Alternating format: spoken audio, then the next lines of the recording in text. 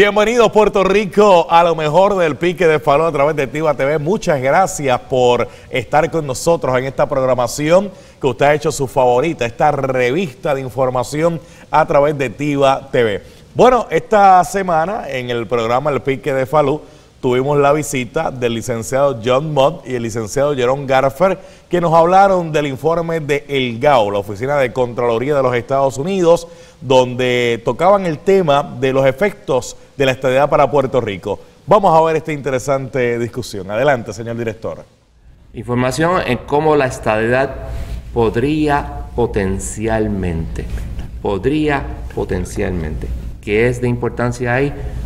Podría potencialmente te está ya poniendo que esto es nada más y nada menos que lo que decimos en buen español un guesstimate. Esto es un algo hecho a ojo de buen cubero. Esto no es exacto. Esto no hay, de hecho, el informe mismo te dice que todas sus conclusiones, excepto que hayan dicho otra cosa, hay un margen de error de entre 7% para arriba y 7% para abajo. Si ustedes miran y se acuerdan de las encuestas, una encuesta bien hecha tiene un margen de error de 3%. Si esto fuera una encuesta, que no lo es, estaría mal hecho. Vamos, si puedes, a la página 10 del PDF. Que esto es un, formato del, documento. Es, esta página 10. La número 10. Es bien importante. Voy a decir en un momento. Mírala ahí. Ok. La página 10 te dice, bueno, no podemos ver ahora de, más, vamos a decir, de, cerca, pero te dice qué es lo que van a, buscar. Y, lo que van a buscar, ah, gracias. You ask us to review. Ese párrafo es el más importante, porque eso es lo que te dice que ellos están buscando. ¿Qué es lo que te dice que están buscando? Cambios potenciales a programas seleccionados. ¿Qué quiere decir eso? Ah, pues mira, ellos cogieron todo programa que tuviera 5 billones o más, ¿ok? Que fuera impactado generalmente a los estados o a las personas y cualquier otro programa que hubiese eh, un cambio en Puerto Rico de 100 millones o más. O sea que si el programa era de 98 millones y era más o menos para Puerto Rico, no está incluido. Que es una crítica grande y de hecho el, el comisionado Luisi, que ustedes saben que yo no soy exactamente santo de su devoción, hizo una carta que está en el, en el anejo 6 de este documento, muy bien hecha, haciendo, entre otras cosas, este señalamiento. Vamos a la página 16, si podemos, un segundito. La página número 16. Y mientras vamos buscando la página 16, eh, vaya argumentando la misma, licenciada. Mire esta. Ok, gráfica. ¿Qué te dice ahí? La comparación per cápita de los grants federales, de los que se da, los dinero que se da federal, pagos y taxes en Puerto Rico y los estados en el 2010. El chiquito es Puerto Rico y el grande es los estados. Si se fijan, grants, hay una diferencia de más de 500 millones de dólares. En cuanto al segundo, que es los pagos directos a individuos, hay una diferencia de 1.5 billones de dólares. Y en cuanto a los taxes, obviamente Puerto Rico en este momento la mayor parte de la población no paga impuestos federales. Pero por ejemplo, yo, debido a que pero recibo fondos de lo que se llama el Criminal Justice Act, pues yo tengo que pagar eh, impuestos federales, pues sí tengo que hacerlo. Eso te dice a ti que, que nosotros recibimos mucho menos en cosas importantes de, los estados. Si pasamos otra vez a la 31, la página 31, la figura es una de las grandes figuras y figura bien importante. Figura me refiero a que es como una... Ven ahí que Medicare, eso te dice a ti ¿Cuánto recibe Puerto Rico a la mano izquierda? El de en medio es lo que como mínimo como Estado recibiría y la segunda es como máximo recibiría. Eso es bajo las cosas, ellos hicieron los estudios bajo más o menos para el año 2010-2011. Estamos hablando de 1.5 billones de dólares. Vamos a, Medicaid. A Medicare, por cierto, es para los viejitos. ¿ok? Medicaid para la gente pobre. Ahí hay un billón de más de un billón de dólares de diferencia. Es 1.4 más o menos. Supplemental Nutrition Assistance Program, los cupones. Pues ahí, en una parte dice que vamos a recibir menos y hay una, hay una explicación que es que recibiríamos más de otros fondos y podría ser que recibiéramos un poquito menos en esa parte. Pero en el máximo estamos hablando de 700 eh, millones más, que es un montón de dinero.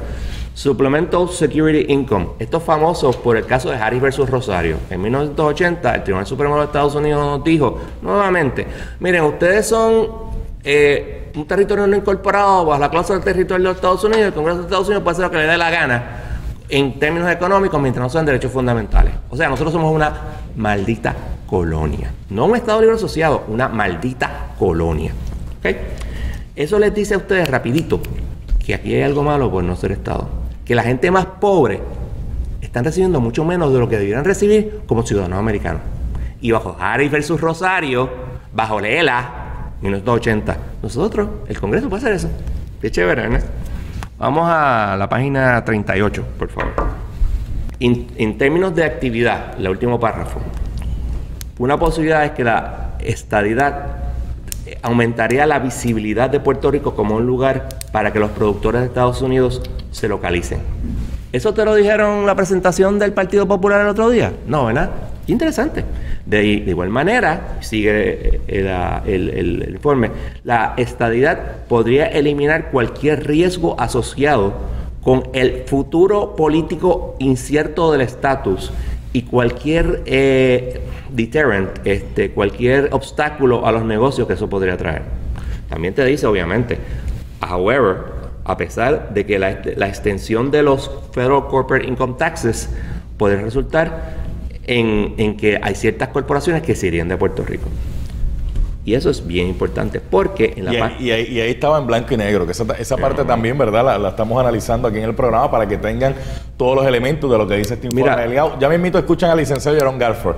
Eh, dígame, Es bien importante y creo que lo que, lo que dijiste es bien mm. importante. Hay que leer el maldito informe, no confíen en mi palabra. Lean. Si ustedes leen, van a aprender. ¿Ok? A otra cosa, recuerden también, esto es un guesstimate. Fíjense qué cosa más interesante. En la página anterior, que es la, la, página 36, el informe te dice que ellos no están asumiendo nada de cambio sobre la estructura corporativa de las corporaciones. Entonces vas a la, a nota al cárcel número 31 y te dice, si bajas un poquito a la, a la 31, es bien interesante que te dice, estamos asumiendo que todos los negocios que file, filing, que radican su, su este, informe, o sea, sus taxes, en las farmacéuticas y equipo médico, ¿ok? Que derivan su ingreso de eh, assets movibles, se irían de Puerto Rico. Digo, espérate, espérate, espérate. O estás asumiendo que no va a haber cambio corporativo o estás asumiendo que se van a ir todos. Ahí hay una contradicción garrafal. Ahora, interesante, si eso es así, cómo eso afecta los estudios o los estimados que ellos hicieron de los taxes que supuestamente se va a pagar en Puerto Rico. Porque interesantemente hay una figura que te dice, creo que la figura 8, déjame buscarla un momentito, que te dice que Puerto Rico, los individuos pagarían entre 2.2 y 2.3 billones de dólares en taxes. Quiero parar ahí un segundito porque es bien importante. Eh, en Puerto Rico, los que trabajan eh, asalariados y ganan 19 mil dólares o menos, no rinden. No estoy hablando de pagar, no rinden planilla federal. ¿Por qué? Porque me pasó a mí en un lío de esto. No me aplica a mí porque yo trabajo por mi cuenta. Entonces son 400 dólares. Pero si tú no ganas 19 mil dólares y eres asalariado, que es la mayor parte de las personas en Puerto Rico, porque el per cápita en es menos de 19 mil, pues no rindes. 16.300 ¿Eh? Exacto. Perfecto. Vamos al próximo. En Puerto Rico no, no aplica una cosa que se llama Earned Income Tax Credit. Eso es un crédito que te da la IRS que si tú te ganas creo que es hasta 53 mil y pico dólares, tú tienes un crédito de 6 mil y pico dólares para deducir el impuesto. En Puerto Rico ese crédito, el equivalente es 400 dólares. Tercero, hay una cosa que se llama Itemized Deductions. En Itemized Deductions, que tú puedes hacer con tu planilla, dependiendo de cuánto tú estés ganando y si te conviene o no, tú puedes poner los taxes, los taxes que tú pagas a Puerto Rico y los deduces de los impuestos federales. Pero eso no te lo dijeron en la reunión esa famosa. Y eso le aplica a individuos y le aplica a corporaciones. Bueno, señoras y señores, tenemos que hacer la primera pausa aquí en el Pique de Faluz. Regresamos en breve.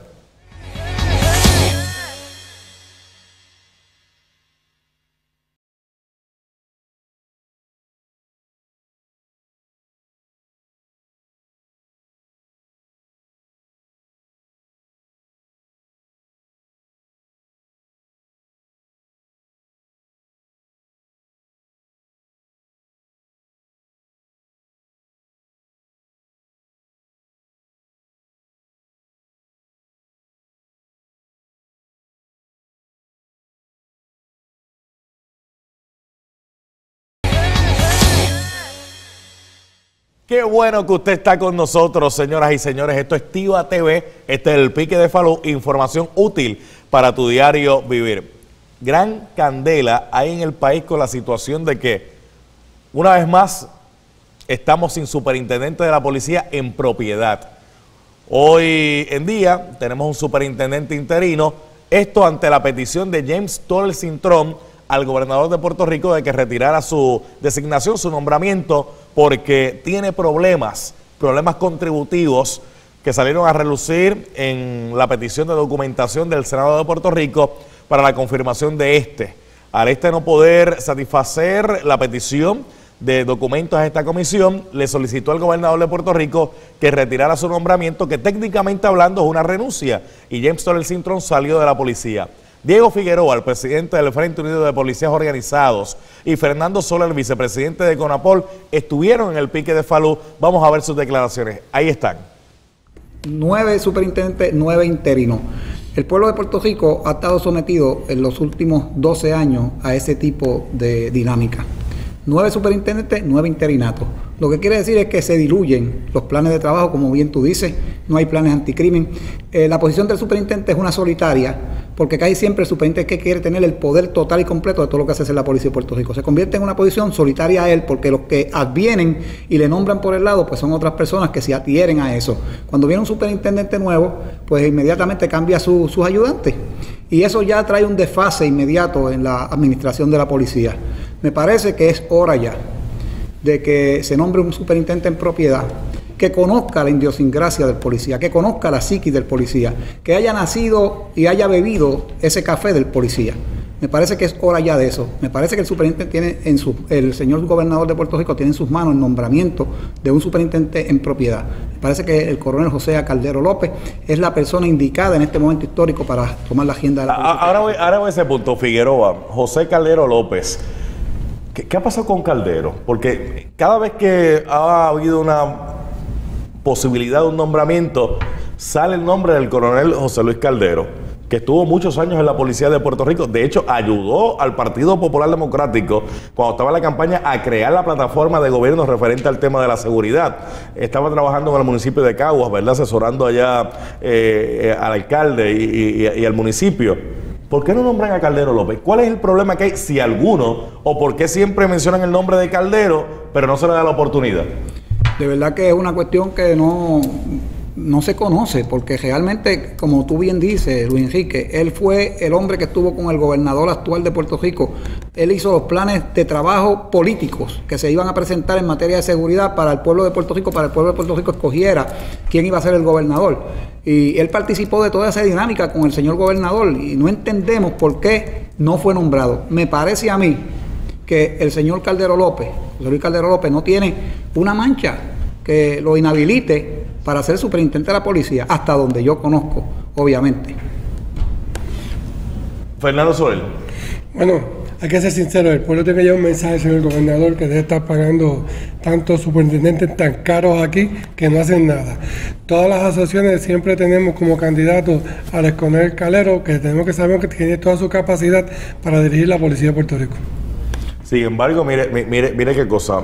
Porque aquí estamos hablando que James Toller se ganaba 190 y pico mil dólares por el cargo. Pero no solamente eran los 195 mil de, de estamos hablando de una coronel que trajo del ejército de los Estados Unidos, que eh, ahora me imagino que esa coronel se, se, quedará en el aire porque esa era una empleada de confianza. Está la superintendente asociada que también la habían traído. Bueno, hasta una relacionista público tenía James Toller para hablar con, con, los medios, porque siempre que uno le hacía una pregunta a Toller referente a lo que estaba pasando en la policía, utilizaba la frase de, estamos trabajando con eso.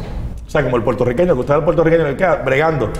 Pero no le dicen que está bregando. Y uno le pregunta, mire, yo le pregunté a Toller sobre el asesor de Fortaleza de, de la misma policía que tuvo un accidente de tránsito donde murió una persona, estamos, estamos, estamos trabajando con eso.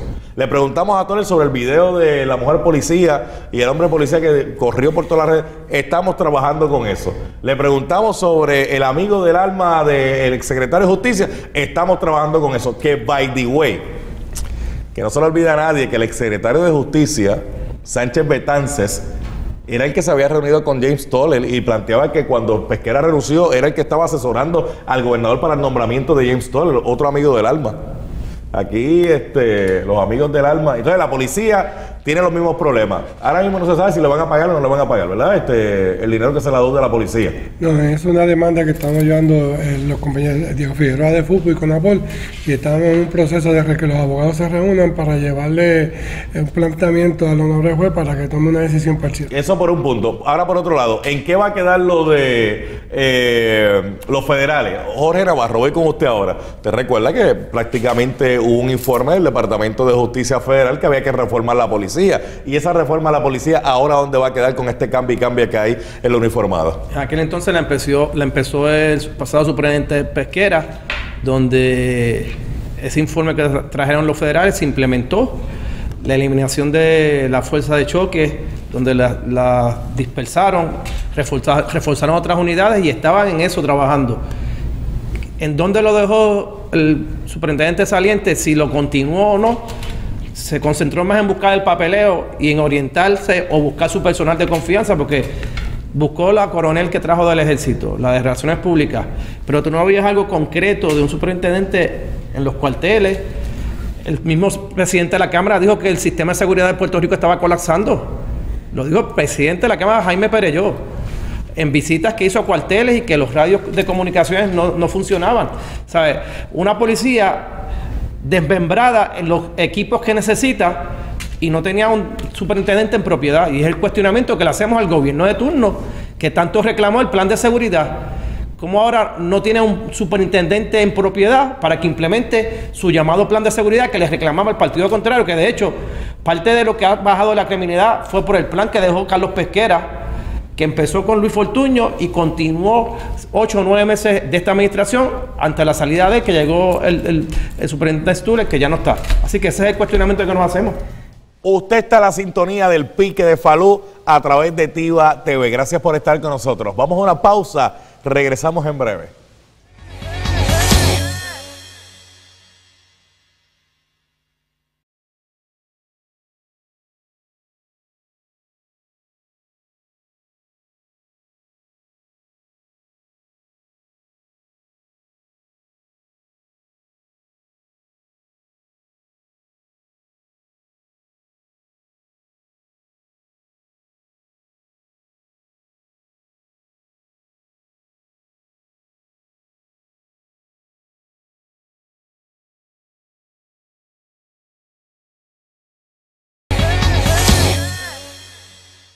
Aquí estamos nuevamente, señoras y señores. Esto es Tiva TV y usted está viendo lo mejor del pique de Falú. Información útil para tu diario vivir. El pique en la policía de Puerto Rico con la situación del vídeo sexual eh, sigue dando de qué hablar. Como ustedes saben, la mujer policía involucrada en este vídeo identificó eh, al hombre que aparece en el mismo y dice que es un agente de apellido Meléndez, aunque este niega ser el protagonista de este vídeo. Estuvo con nosotros el presidente de la organización COPS, eh, Jaime Morales, que nos habló sobre el particular y donde plantea de que la versión de la mujer policía, según Jaime Morales, para él no es una muy creíble, porque según Jaime Morales, el oficial señalado Meléndez, que pertenece a la organización COPS, plantea que el que está en el vídeo no es él. Vamos a ver lo que nos dijo Jaime Morales. Si tú te fijas, el día 19 de marzo salió a reducir en las redes sociales, no por ella, y, en los medios, que aparecía la figura de un teniente, de un alegado teniente. Que no era la persona. Que no era la persona, que no es la segunda que ella nombra, aunque ella no nombró la primera. ¿Por qué se tardó casi nueve días en salir públicamente y decir, no, no es este, es este? Mañana, ¿quién va a ser? ¿Usted? ¿Yo? ¿Quién va a ser? O sea, son cosas que obviamente le traicionan a ella su forma de pensar a la hora de ella, de ella tomar, haber tomado la decisión de declarar, porque si tal vez hubiese dicho el mismo día que salió esa persona, que salió en todo sitio, o el día siguiente, mira, voy a hablar porque esa persona no es. Usted sabe el problema que tal vez tuvo esa persona en su familia, en su casa, por razones obvias, ¿me entiende? Y otra cosa. O sea, usted lo que me quiere plantear, porque le quiero preguntar sobre el problema de la policía, usted lo que me quiere plantear es que al final del camino, cuando esto se investigue, la versión que está dando esa mujer policía finalmente no es la versión que ha, ha salido a relucir ahora. Bueno, lo que pasa es que entre las cosas que él me, pre- me quiso preguntar sobre el audio, yo fui a, a un programa donde pusieron el audio y la persona, el técnico dijo que el audio es real del video y ella dijo que el audio se lo pusieron en otro sitio. O sea, que entonces son cosas que la información que ella está dando, pues obviamente no es la correcta y ella exponiéndose públicamente sin necesidad. Digo, pe- pero, pero, pero Morales, vamos, vamos a plantear algo. Me voy a poner aquí Sí. en, en otro aspecto. Independientemente, mire, va- vamos a suponer que se lo pusieron el audio, no le pusieron el audio, vamos a suponer este, 20 cosas aquí, lo que la gente quiera decir. Vamos a esto. Pero si eso era una cosa entre ellos dos, ¿verdad? ¿Por qué hacerlo público? ¿Por, por qué subirlo a las redes sociales para que la gente diga y deje de decir, diga lo que es, lo que no es y le añada más? Y cuando viene a ver aquí, mire, tanto él como ella han salido aquí por el piso, lamentablemente. El problema de esto es que eso es, eso es un asunto administrativo y lo quieren hacer criminal publicándolo tanto en los medios. Y de verdad que, pues, es, es bien triste todo lo que está pasando, tanto Puede- para la puede- policía de Puerto llegar Rico. hasta, hasta allá. No, no, Lejos. administrativamente. Lo que pasa es que si tal vez pueden determinar quién lo publicó, ahí es que está el delito. Pero eso le toca a la agencia que va a determinar la investigación, que es la Policía de Puerto Rico en asuntos internos, que ellos son los que van a hacer la investigación. Bueno, pero, pero, Esperamos que pero- pero- investigación pero correcta. administrativamente hay consecuencias porque los pueden votar de la Bueno, lo que policía. pasa es que, bueno, pero van a tener que probar entonces qué era él o quién era, porque ella puede haber dicho, del dicho, es él. Oye, pero la cara de él no se ve, o del que sea no se ve. Ese es el problema. O sea, ella puede haber dicho 20 nombres. O sea, y es bien lamentable, ¿me entiendes? Pero, pero fíjese, hay, hay otro elemento, fíjese, de todo esto, que se ve la intención, ella plantea que era para que le querían hacer daño. Fíjate qué cosa, que la única que se ve en el vídeo es ella. Ok.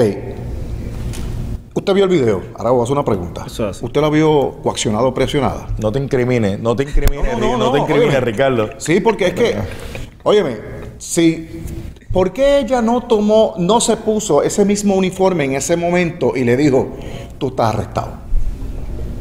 O sea, usted lo que me está planteando es que eso fue voluntario, que no fue coaccionado como ella No, plantea. pues claro que no. Óyeme, óyeme, Falú. No, pues claro que no. Ahí ella, si existieron unos actos lascivos, pues fueron por parte de ella, los actos lascivos, ¿me entiendes? Ahora, si ella entendiera que los actos lascivos, o el tipo inten- intentó O seducirla, si hubiera visto algún Esa, un forcejeo en el video, o ella hubiese intentado él, a seducirla, a pegarla contra la pared y ya lo pusiera bajo arresto. Y ese, oye, pues entonces estamos hablando. Pero el problema de esto es que eso, yo vi el video una vez y fue suficiente. ¿Me entiendes? Y de verdad que denigra a toda la policía de Puerto Rico, a la mujer puertorriqueña, y lo han tirado en tantos sitios, se han inventado tanto cuento con ese video, que de verdad que ponen hasta anuncios. ¿Sabes? Mira, oye, se metieron al Facebook de esa dama sin necesidad. Oye, ¿de qué estamos hablando? Mira, vamos a resolver el anuncio- el- este- esta situación tranquilamente, administrativamente.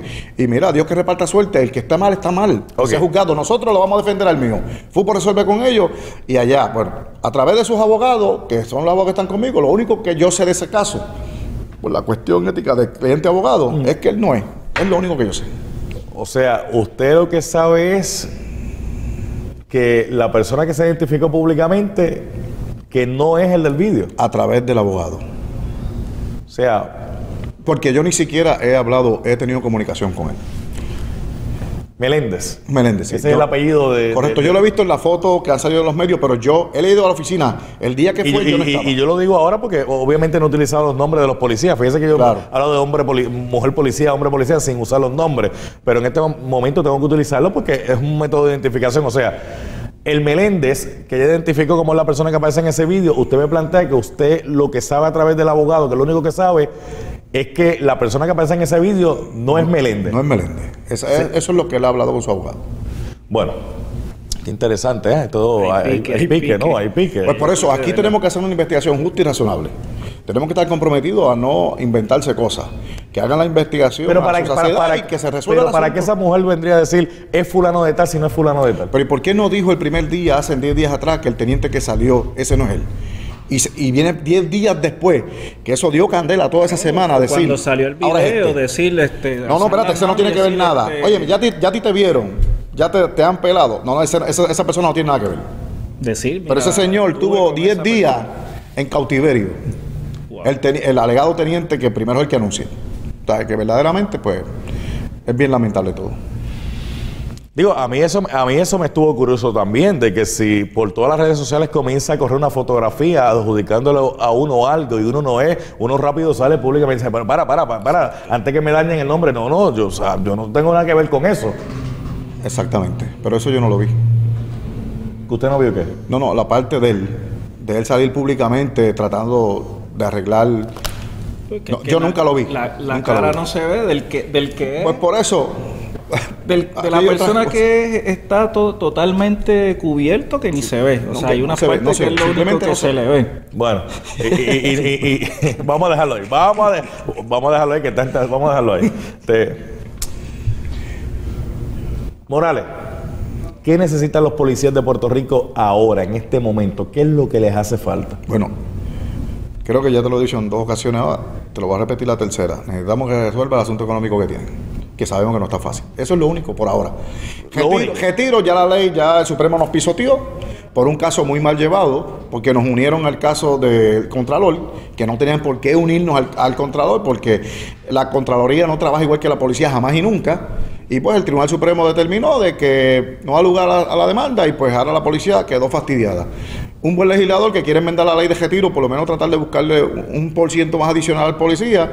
Y los 300 millones, mira, una, que saquen algo del presupuesto anual y, y empiecen a pagar de 500 en 500. Lo importante es que ellos reciben lo que es de ellos, porque ellos saben mismo, ellos tienen que empezar con los que están trabajando y terminar con los jubilados, que a los jubilados se les debe dinero. Ese jubilado ahorita se nos muere y nunca recibe Bueno, o sea, pero eso, pero eso es lo que usted me plantea que necesitan ahora. O sea, en patrullas están bien, están bien en No, lo que pasa es que uniforme, están bien en chaleco, Lo que a pasa es prueba que bala. equipo siempre aparece. Todos los gobernantes compran sus 100 patrullitas, siempre compran sus chalequitos de vez en cuando.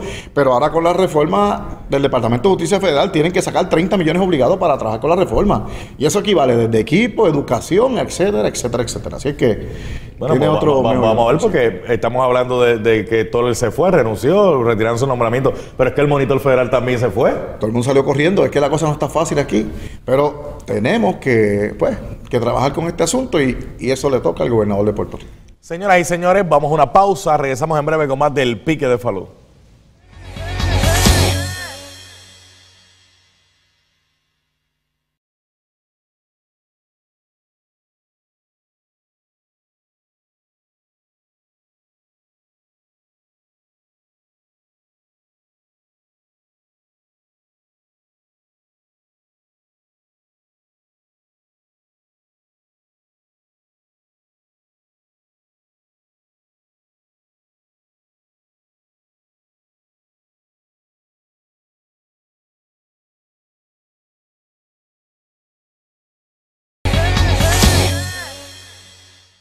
Usted está en la sintonía de lo mejor del pique de Falo, información útil para tu diario vivir a través de Tiva TV. Como ustedes saben, en el programa tenemos el segmento de salud compuesto por el doctor Norman González Chacón, el doctor Norman Osvaldo González Rivera, el licenciado Carlos Pérez Sierra y el pastor David Jonathan. Esta semana hablamos sobre un estudio que salió a relucir donde plantea que se debe aumentar a 7 el consumo de frutas y vegetales. Como ustedes saben, la Organización Mundial de la Salud planteaba que eh, se debía de comer frutas y vegetales por lo menos 5 porciones al día, pero este estudio señala de que hay que aumentarlo a 7. Pero la razón para esta recomendación de aumentar el consumo de fru- frutas y vegetales a 7, ¿a qué se debe? El panel de salud lo explica aquí en el pique de Falo a través de Tiva TV. Lo, más importante, lo más importante de este estudio es que aumenta eh, y sugiere el aumento de, de consumo de verduras y frutas y hace la aclaración de que las verduras son más, mucho más saludables inclusive que las frutas. eh, por lo que entendemos que mientras más verduras y porciones de verdura o de fruta consuma la gente, obviamente menos va a consumir otros tipos de comida que son los que hacen daño, que hemos estado hablando aquí en, programas anteriores. O sea que fíjense que este estudio que duró 12 años y fue publicado por el University College of London, pues sugiere que mientras más frutas y verduras consuma la gente, más, eh, más puede reducir una muerte prematura y las muertes prematuras sabemos que son a consecuencia de, de problemas del corazón, problemas eh, relacionados a la diabetes y problemas relacionados a, a- a problemas que están directamente vinculados a los hábitos alimentarios de la mayor parte de las personas. O sea que estamos, estamos aquí, eh, se, se está confirmando una vez más eh, científicamente que mientras más eh, productos usted consuma del reino vegetal y menos productos del reino animal, pues obviamente va a estar disminuyendo dramáticamente eh, aquellos riesgos de morir de alguna de estas enfermedades antes de tiempo. De hecho, para que la gente tenga una idea, también plantea este estudio, ¿verdad? Que los 400 gramos de recomendación eh, al día sobre frutas y verduras que no son suficientes. No son lo suficientes. Esos son los dice parámetros que se han la establecido por Organización Mundial de la, la Salud. por la Organización Mundial de la Salud, eh, de- que hablaba de cinco porciones. O sea, Ahora que la prácticamente al, suben. al doble. a, a- a siete. Y la, la razón, la razón es que para el que come carne, para poder neutralizar el daño que hacen las carnes, para que se reflejen esas estadísticas, entonces tendría que comerse siete porciones de fruta al día, que eso, eso yo creo que es imposible. O sea, tú no le puedes exigir a un niño que se coma siete porciones de, de- de fruta al día, ni a ningún ser adulto que esté trabajando, que esté en la casa o, o que esté en la actividad que sea. A menos que sea Que- frutívoro nada más. Ah, exactamente, que coma frutas nada más. En ese caso no tendría que comerse siete porciones, porque ahí lo que se está haciendo es que se está pesando en balanza la cantidad de fruta que necesita para contrarrestar el daño que pueda estar haciendo las carnes y los productos de origen animal, como la leche, huevo, etcétera, que la persona ingiere. Entonces, claro, para eso se necesitan ahora, para que se vean los resultados, siete porciones. Pero eso realmente no es así. En un vegetariano, por ejemplo, en un vegetariano, con tres frutas que tú te comes al día, una por la mañana, una por la mediodía, otra por la tarde, o entre comidas, con eso, con eso es En suficiente. el, en el caso, en el caso de las recomendaciones que nosotros hacemos, eh, puede ser entre 3 y 4 porciones entre frutas y vegetales al día y es suficiente para el y sostenimiento eso sería de las funciones vitales. Pero fíjate, fíjate como por, por no dejar decirle a la gente, por no decirle, dejen de comer carne, que la gente se está muriendo por estar comiendo carne, se están enfermando en exceso y tenemos un alto costo de, de- de salud en la nación. Pues miren, cómense siete, siete porciones de fruta al día, cosa que nadie se las va a comer. Nadie se las va a comer. Ni los nutricionistas, ni los médicos, ni, ni nadie se va a comer esas siete por- por- porciones de Bueno, fruta. a menos, a menos que tanto, empiecen comiéndose las frutas y los vegetales y entonces se, se- Dejen de comer no carne. coman lo otro. Aún así es mucho, aún así es demasiado. Eh, quizás quizás esa es la intención, quizás Bueno. esa es la intención de que coman tanta fruta y vegetales que no tengan espacio para lo que le hace daño, Pero ¿verdad? ¿por qué no, se le hablan atreven claro a la gente? Exactamente. ¿Por qué no le dicen las cosas claras como le estamos diciendo nosotros aquí? ¿Ve? Eh, si, si se le dicen las cosas claras, entonces la gente tienen, tienen inteligencia para tomar una decisión, tú ¿sabes? porque se está tratando a la gente como si todo el mundo fuera morón. ¿sabes? Si estuviéramos hablándole a, a- a un país de morones, que entonces hay que decirle, mira, cómense siete raciones de fruta para poder entonces combatir el cáncer y ser más Claro, saludable. claro. Cuando, cuando en realidad tú estás viendo, ¿verdad? Tú estás viendo la- la- el, el punto que, que es Sí, importantísimo. si, porque- si ahora, mismo, ahora mismo es las cinco porciones de fruta, como plantean, ¿verdad? Eh, No se los comen. No se los comen. Este, imagínense decirle siete. Díganle la razón. Mire, eh, de- Pastor, dígame. Hay, hay buffets que comienzan con lechuga y acaban luego con la carne. Pero no es porque quieren que la gente coma saludable, sino porque la carne vale más cara que la lechuga. para, llenarlos, para Sí, llenarlos para llenarlo. cosas. Sin embargo, en, lo- en las fiestas judías hay una fiesta bien, bien importante que se llama la fiesta de los primeros frutos. Y es una fiesta de frescura. Y es frescura porque la connotación que da es la de tener una intimidad con Dios fresca, de todos los días algo nuevo. Dice que sus misericordias son nuevas cada mañana. cada mañana. Contrarrestando eso contra un solo sacrificio de un animal muerto, usted ve mucha fruta, mucho vegetal contra un solo animal muerto, que ni siquiera se comía. Por, por lo tanto, tenemos que entonces nosotros, como, como eso está diseñado aparentemente, ¿verdad? Yo que me perdone alguien si se ofende, pero como eso lo han diseñado, como quien dice, para morones, ¿verdad? Pues entonces, cualquiera que tenga dos dedos de frente y que piense, dice, pero espérate, nadie se puede comer esas siete porciones, nadie se comió las cinco. No obstante, no obstante, no obstante, estamos viendo que los resultados a largo plazo de las personas que consumen esas frutas es positivo en términos de salud. Entonces, pues, pues, para yo no tener que decirle, mira, dejen de comer carne, yo le digo, cómanse siete porciones y con eso yo aplaco mi conciencia, ¿verdad? Aplaco mi conciencia, que es, es el, es el Departamento de Salud americano el que está hablando ahí. El- y El, la organización- Departamento de Salud se lava las manos como, como piloto. Anestesiar la ¿verdad? culpa se llama Ah, eso. sí. Y entonces, anestesia No, su eso es por- conciencia. Por, si algún día hay algún ¿Eh? tipo de reclamo, eh, tienen que la- no dijeron lo que tenían que haber dicho. Yo, no, lo dijimos. Lo dijimos. Sí. Lo dijimos, pero, pero, pero tenemos que ver, tenemos que ver que eso es una forma irresponsable totalmente del departamento. Decirle las cosas a la gente y estimular el consumo de frutas y vegetales, dejando que la gente, dejando a merced de la voluntad de la gente que son ignorantes, que no saben el daño que le está haciendo la carne, la fruta, la carne, la leche, los huevos y todo, y todo, y los quesos y todos los productos derivados de animales que son los que ellos están omitiendo en el informe. No, no quieren tocar eso, no quieren comprometerse con eso, porque cada vez que lo hacen, ¿sabe qué pasa?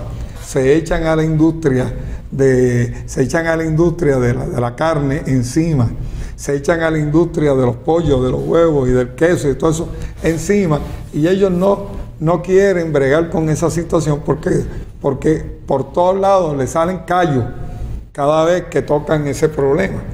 Entonces, para, para evitar esa confrontación, para evitar eh, entrar en esa fricción, pues le dan esas medias verdades a la gente, que son, que a veces son medias verdades y a veces son verdades a medias, pero, pero que de una u otra manera están, están calmando su conciencia, están cumpliendo sin, sin comprometerse con nadie y sin buscarse enemigos.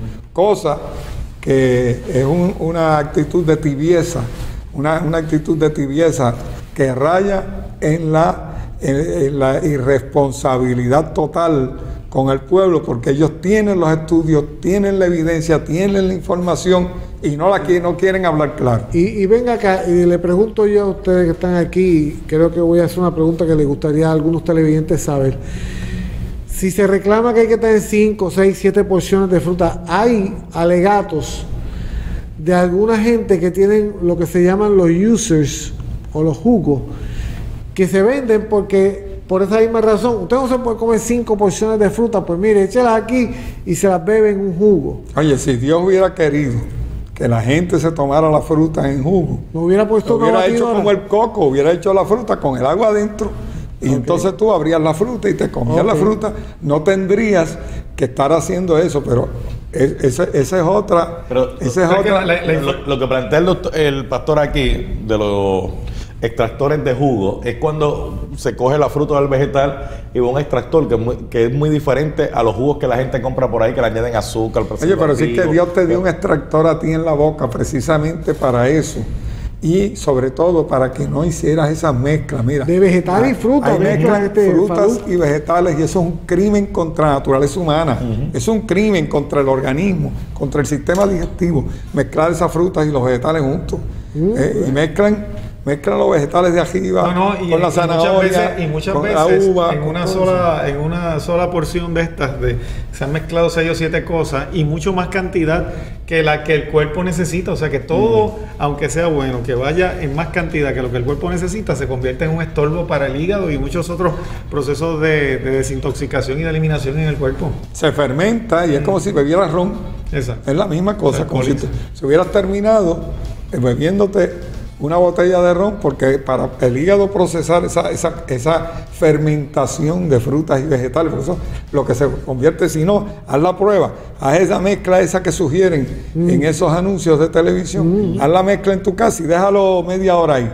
Pues mira, tu cuerpo se tarda de oxida. 15 a media hora en, en- en Wow. asimilarlo más, los jugos gástricos, eso es una- un, un producto fe- putrefacto totalmente. Porque no lo sabíamos, Hay- hay eso no lo sabíamos. No, y hay- hay- en la mayor parte de las veces, mucho no- no necesariamente es mejor. O sea, que yo le.